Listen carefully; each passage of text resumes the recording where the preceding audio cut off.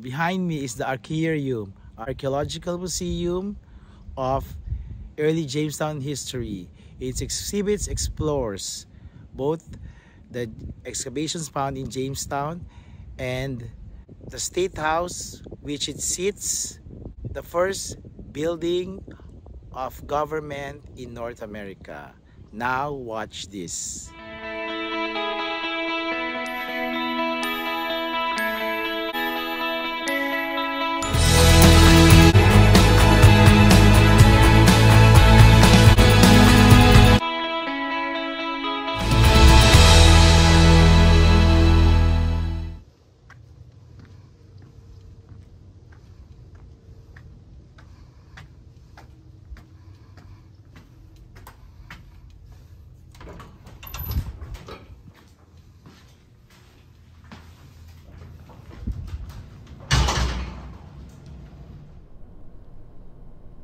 May 1607, there came two savages that seemed to be commanders bravely dressed. When over 100 men and boys from England landed on the shore of the James River in May 1607, they had a lasting effect on the modern world. The initial site of the colony called James Fort was long thought to have disappeared beneath the waters of the James River Recent archaeology not only found James Fort, but also hundreds of thousands of artifacts that illustrate the beginnings of what became the United States of America. These are the first planters as listed by John Smith.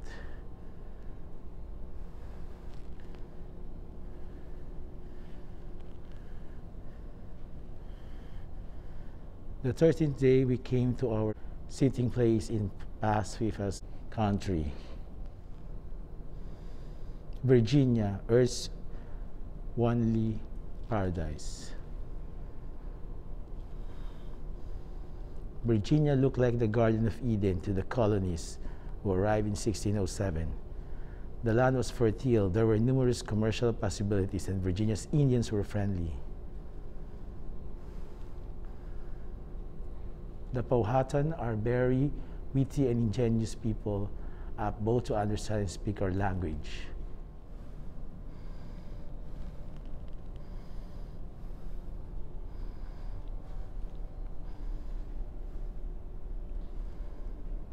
A quartz crystal arrow point as clear as glass made by Virginia Indians, a silver sixpence with the bust of English King James I, one of the most powerful monarchs in Europe. These objects symbolize the two cultures that met on the banks of the James River in 1607. Each of these artifacts was valued by its respective culture as an object of exchange. The point was treasured by the Indians not only for its beauty, but for hunting food. The coin was worth its weight in silver to the English and could be used to buy food, except in Virginia. Each culture tentatively adopted the ways of the other. Virginia Indians accepted a type of currency, beads and copper, from the colonies for food in the colonies. Learned to live off a land very different from the orderly fields of England. In time, each fell back to many of their traditional ways, Yet encounters between the colonists and the Virginia Indians changed both cultures forever. They have fortified themselves and built small town which they call Jamestown.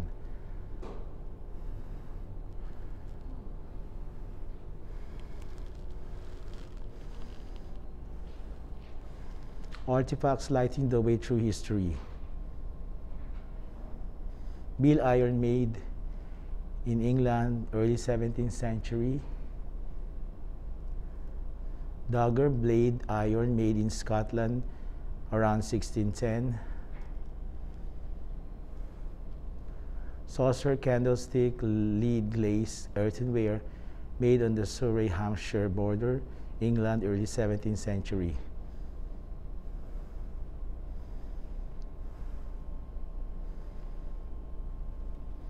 Bartmann jugs, salt glazed stoneware made in French and Germany early 17th century.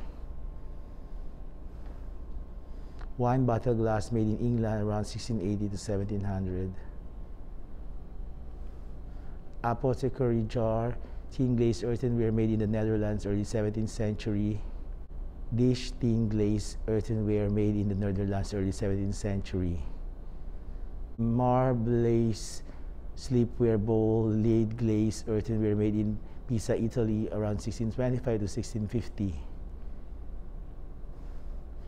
Stirrup iron made in England, mid 17th century. Stirrup iron made in England, late 17th century.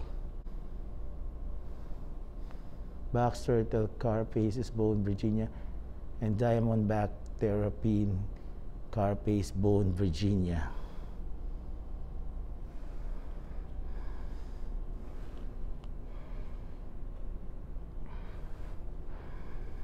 Crossing the Atlantic.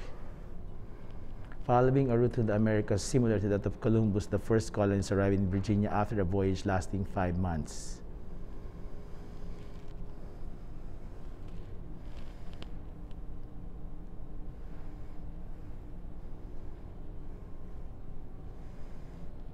Some other artifacts archaeologists unearthed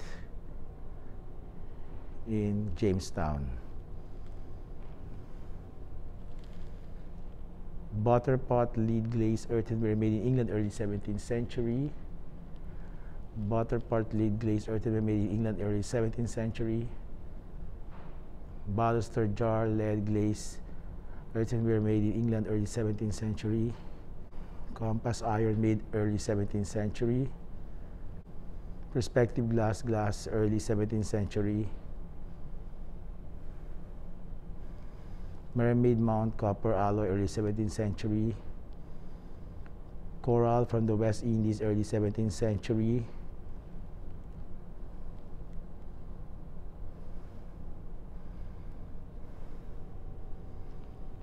Olive jar earthenware made in Seville, Spain, early 17th century. Andesite from the West Indies, early 17th century. The Virginia Company.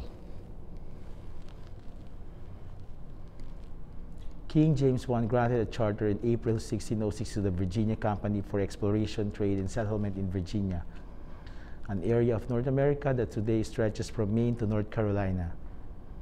Headquartered in London, the Virginia Company consisted of gentlemen, nobles, and merchants who hoped the colony would provide financial gain for them as well as for England.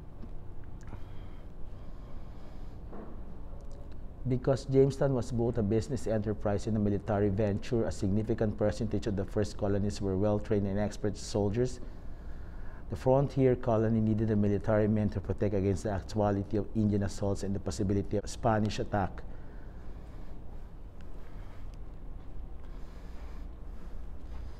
And archaeologists began removing the centuries of dirt from the site in 1994. They quickly realized they were uncovering the remains of James Fort, not only did the stains in the ground match the wooden defensive walls described by the colonists, but also the objects found indicated that James Fort had been found. There were hundreds of artifacts dating to the late 16th and early 17th centuries, and most were military. The fort is called in honor of His Majesty's name, Jamestown. Entrenching coal iron, around 1610 broad axe iron, felling axes, iron hot or small splitting axe iron around 1610. Flask earthenware made in Martincamp, France around 1610. Bill hook iron around 1610. Spade nosings around iron early 17th century. Wedges iron, adze iron 17th century. Compass iron 17th century. Plumber lead 1610. Socket chisel iron 1610. Gouge iron 17th century. Augers iron.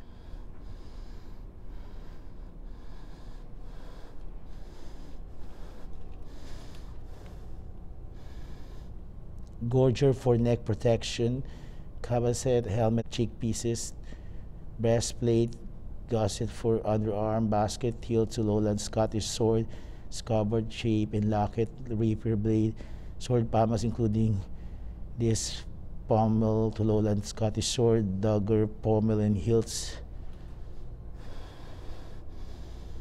Dagger for the left hand, sword, belt hangers, boarding, pike heads, trigger guards, matchlock, lock plates, musket rests, warving scours for cleaning the gun barrel. bullet mates, bandolier cylinders, powder plus nozzles. Forensic analysis detailed the tooth injury and bone loss due to infection. The two central mandibular incisors were damaged, the right chip and the left broken in half with the pulp chamber exposed. The tooth quickly died. If the boy had received proper care and the tooth was extracted, his body would have healed. The team questioned if the major infection may have been a contributing factor to his death.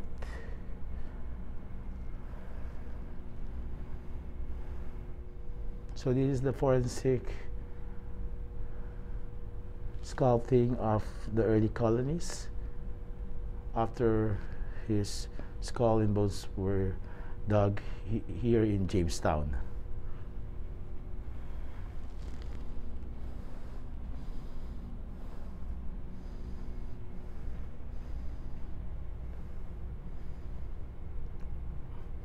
The unmarked grave was found by archaeologists while uncovering the West Palisade of 1607 James Fort. It was part of a more extensive burial ground of over 30 individuals established during the first year of settlement. The extended English burial was parallel to the palisade, suggesting it was contemporary with the fort's western wall.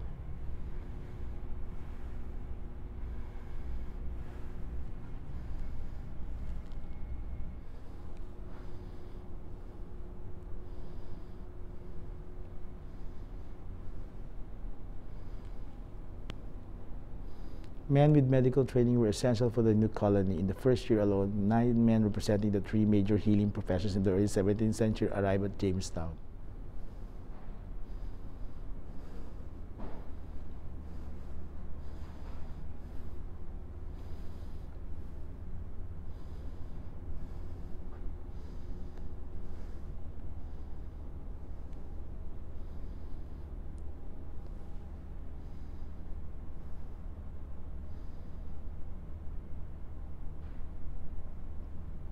Here, there's a saying, we are starved, we are starved. So the early colonists, because of starvation, after the Powhatan Indians hide their food, did not provide food for them, some of them became cannibals based on this archaeological evidence. There was a time which still to this day we call the starving time. It were too vile to stay and scarce to believe what we endured. John Smith, 1610. Inadequate provisions, the loss of key leaders, shipwreck on Bermuda, and the beginning of full-scale war with the Powhatans created the conditions for mass starvation at Jamestown during the terrible winter of 1609 to 1610. Now all of us at Jamestown beginnings to feel the sharp prick of hunger, a war of miseries ensued. George Percy. There were Englishmen left in a foreign country in such a misery as we were in this new discovered Virginia.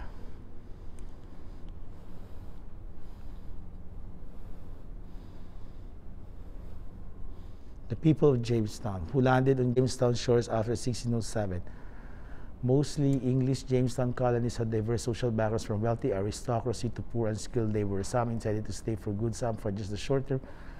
Some have no option to leave. Most came willingly to join family members or in search of economic opportunity. Others forced from their homeland arrive against their will. Archaeology offers insight into the lives of rich and poor, known and unknown, willing and coerced. Close burgonet helmet, Dutch iron, 1600. So these are the gentlemen soldiers. They have nice and flashy, fabulous clothes or dress, captains and commanders. Over the past 25 years, Jamestown rediscovery archaeologists excavating James Fort period features between 1607 and 1624 have unearthed significant numbers of elite objects related to the first gentlemen soldiers. They brought their own armor, swords, raptors, daggers, poniards, and pistols of much better quality than that for ordinary soldiers provided by the Virginia Company. These were personal weapons and indicated their social and military rank as well as previous experience.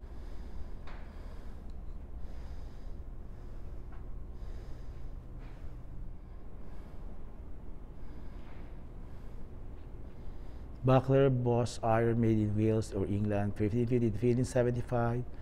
Demi-culverin shot iron made in England early 17th century. So these are some of the tools they use as weapons. The colonies built James Fort in the form of a triangle with semicircular bulwarks like a half moon at each of the three angles. Bulwarks contained raised platforms where the artillery could defend the fort. The cannon fired a solid iron ball known as shot. Since the non-exploding shot will be of little help against Virginia Indian attacks, the cannon replaced the fire long and low over the river, thereby protecting the fort from approaching enemy ships. Some island that is strong by nature, the Virginia Company 1606. So this is Jamestown Island.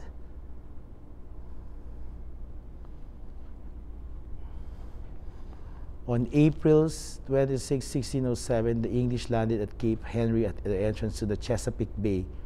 The Virginia Company had instructed them to settle 100 miles from the river's mouth as a location that could be easily defended from Spanish attack.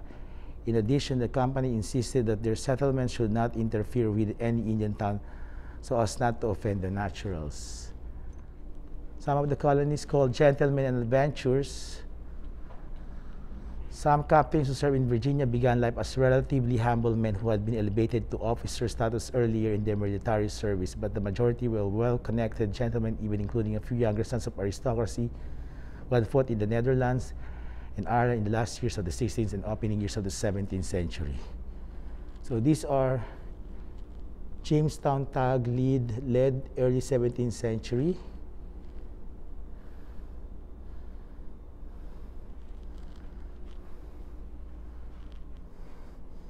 During the first two decades of the colony, Virginia was governed by captains and commanders whose experience on the battlefields of Europe prepared them for the combat and hardship in America. Captains usually commanded from 50 to 100 soldiers, overseeing their daily work and training as well as maintaining this discipline. They were also responsible for the men's moral welfare and enforcement of strict religious observance according to the tenets of the Church of England. So they look like this.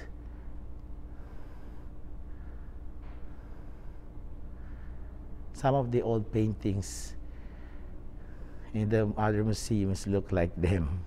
Influence and industry, to tobacco pies of Robert Cotton. This works to make return of present profit.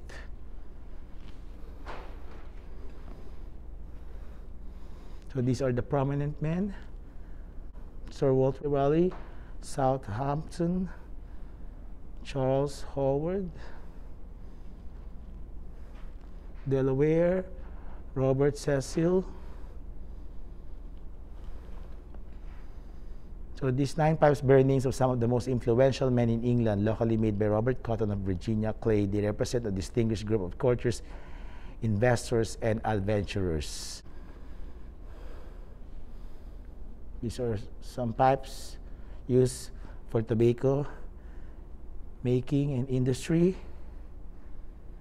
Cotton, a member of the Stationers Company, arrived at Jamestown by April 1608. He was one of the almost 300 settlers sent by the Virginia Company of London by the end of that year. Half were gentlemen and soldiers, while the remainder were artisans, laborers, and tradesmen sent to exploit the natural resources of the New World for profit. So these are the other artifacts unearthed here in Jamestown. So the tradesmen, the artisans, and the skilled laborers were jeweler, glassmakers that produced these artifacts, metallurgists, carpenters, bricklayers, cop car coppersmith, blacksmith, mason, tailors, leather worker, and cooper.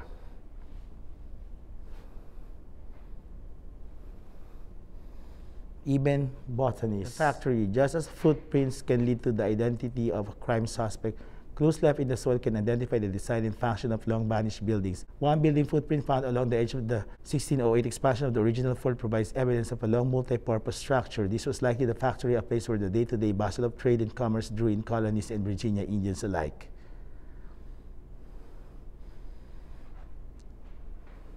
So this is a picture of Powhatan. like an indigenous American Indian.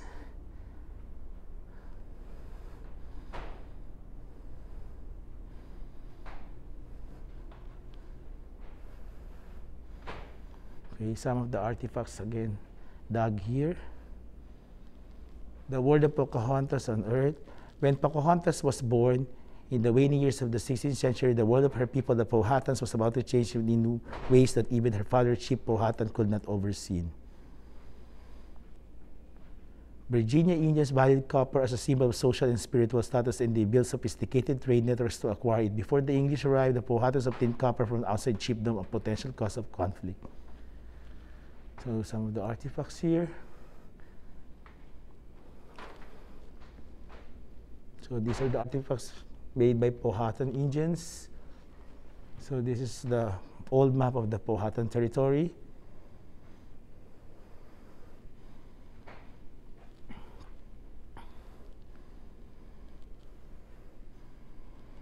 Virginia Indian men were well-documented visitors to James Fort, with some reported to have lived among the colonies. Aside from Pocahontas, Virginia Indian women were scarcely mentioned in association with the English settlement, but their presence has been confirmed through the archaeological record. So these are some of the Powhatan artifacts found here in Jamestown.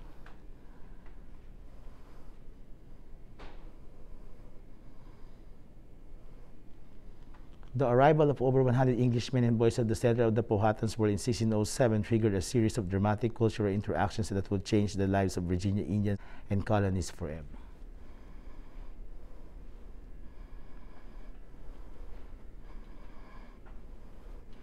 Pocahontas, to whom my heart and vessels are, and have a long time been so entangled and enthralled in so intricate a labyrinth.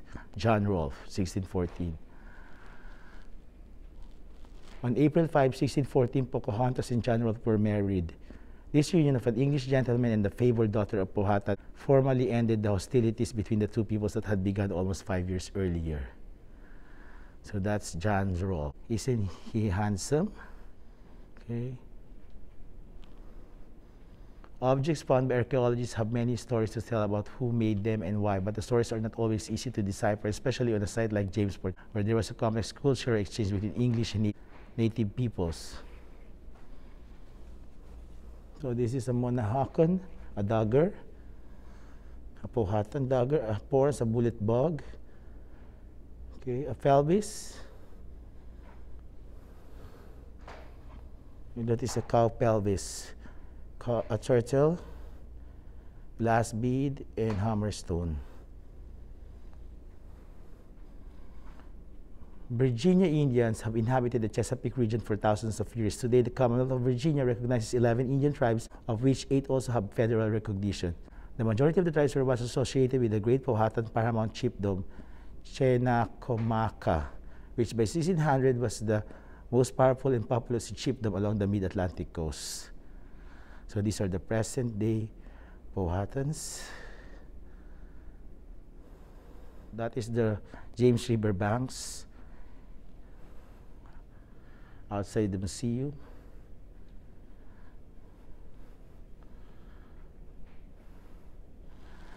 Jamestown has no freshwater springs serving the town, but what we drew from a well six or seven bottom deep, fed by the brackish river oozing into it.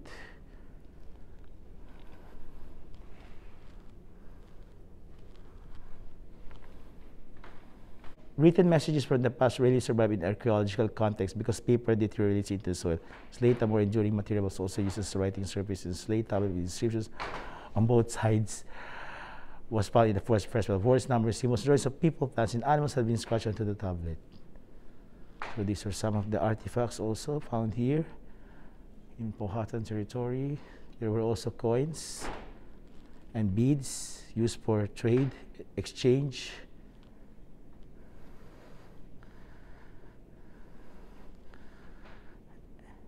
and the Powhatans and the colonies were influenced by the Church of England. The establishment of the Church of England, Anglicanism in Virginia was fundamental to the transfer of English culture and beliefs to the New World.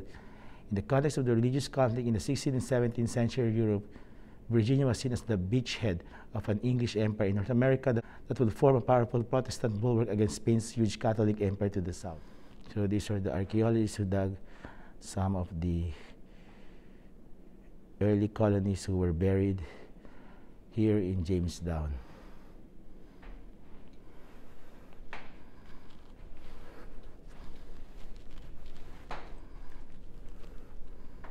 So these are the first houses that they found underneath the soil, the ground here in historic Jamestown.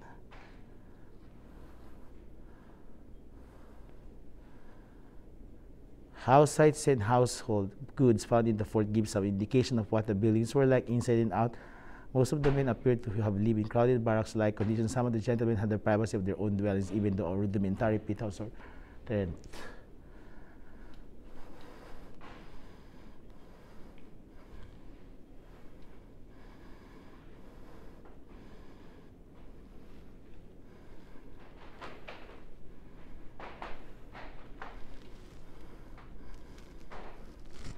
So these are what the structures of buildings look like here in Jamestown as reconstructed by Jamestown Rediscovery archaeologists.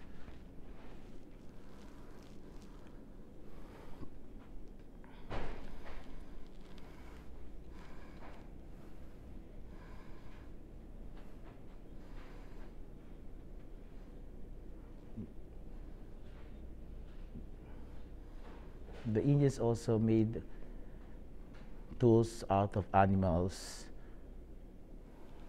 as you can see here. So these are evidence that there's a culture thriving here in Jamestown.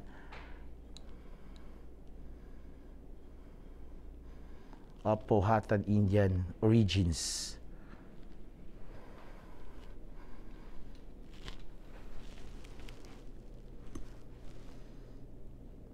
So archaeologists reconstructed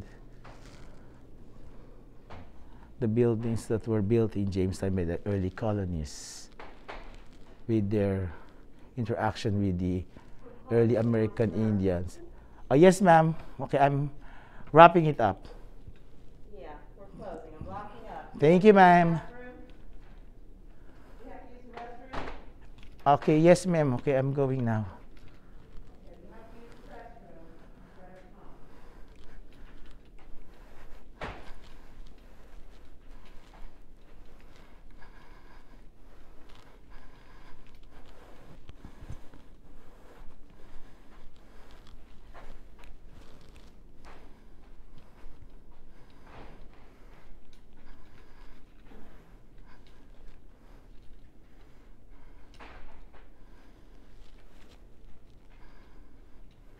You'll have to come back tomorrow, huh?